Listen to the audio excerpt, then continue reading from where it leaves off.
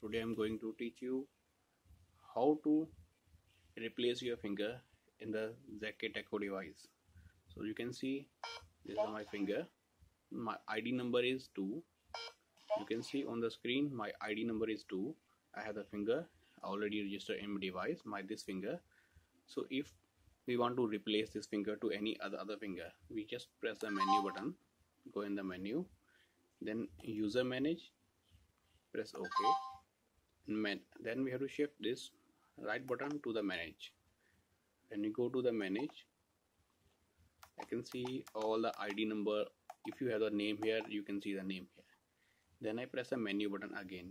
Like as in my finger number 2 I press the menu button again. And go down to edit press ok. Then I can see here I have the two finger already registered. So if I want to delete this two finger I just go delete user. Press ok here delete fingerprint.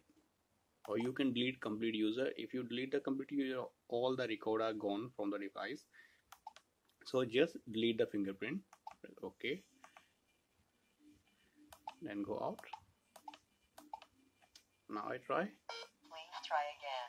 Please no more again. finger so when I want to register finger just go manage find the number go here edit and go to enroll FP press ok then just scan the any finger Duplicate finger.